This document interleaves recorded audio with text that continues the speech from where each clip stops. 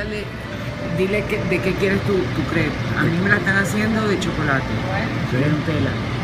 De Nutella.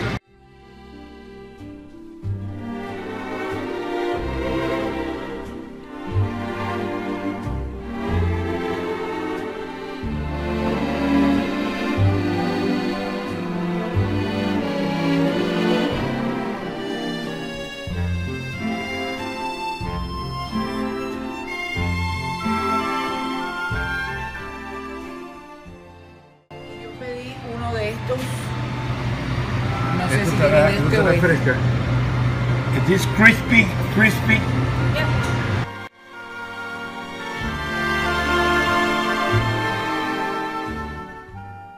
Espresso. Coffee, yeah. I will, I, I will have an espresso after, after. How about you? It will be too expensive. She's an artist, an artist, eh? She You're very good, you're very good. Thank you. Where are you from? Très, très bien, très Miami. Miami. Nice place. Miami, Miami. It's, it's too cold for us. Yeah. yeah, sure. Do you have, Yes. do you have here arepas? Arepas. Arepas. Arepas, arepation, arepe, arepe in, in French, arepe. It's a Venezuelan bread, you know. Oh no. Uh, no, no, how, you never heard of Never heard of arepa? Never No. heard? Because it's supposed to be the most popular breakfast in the world. In Yes. the whole world. Très joli, you know, come here. Arepe, huh? They don't have arepa here, no tienen arepa. You want one shot or two shots of Bueno, espresso? two shots. Pero estoy, estoy preocupado porque no tienen arepa aquí tampoco. No, no, no, en ningún lado. Maricela, en ningún lado hay arepa. Hay que traer a las gorditas para acá. A los camiones tuyos para acá. Porque So you put vende arepa aquí en, en Quebec City.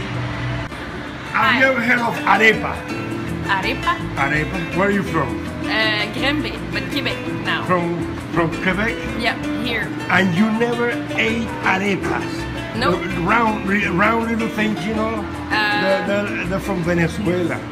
Ven- No. You know where Venezuela is? Yes. You know Hugo Chavez?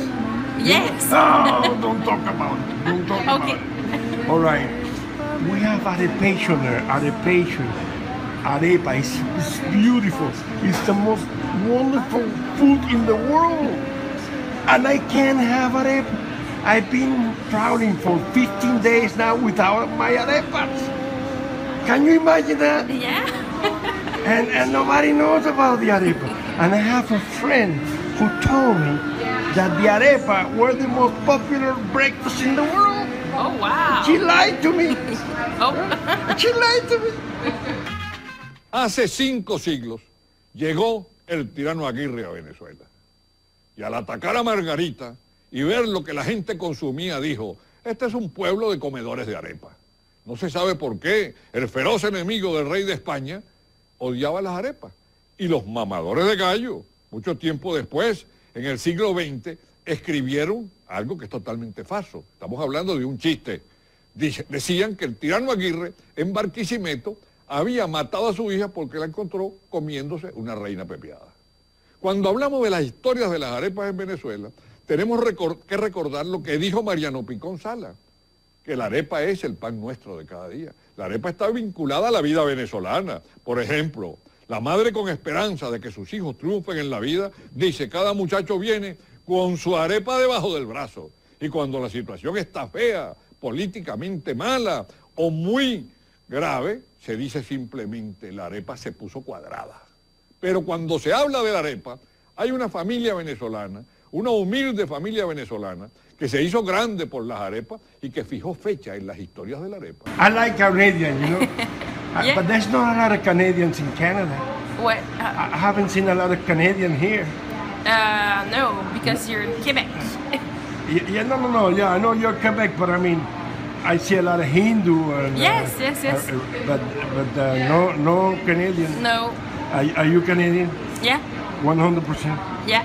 Uh, but you don't know about the other patient. No. No, I'm gonna send you some other patient for you. You will love it. Okay. Okay? Your name? Joanne. Joanne. Yeah.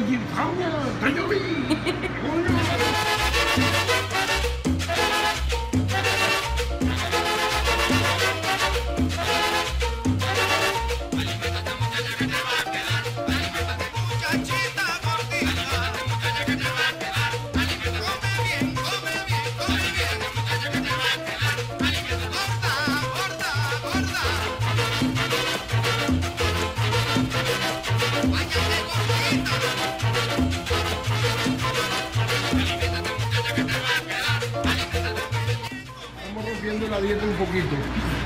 Un poquito nada más.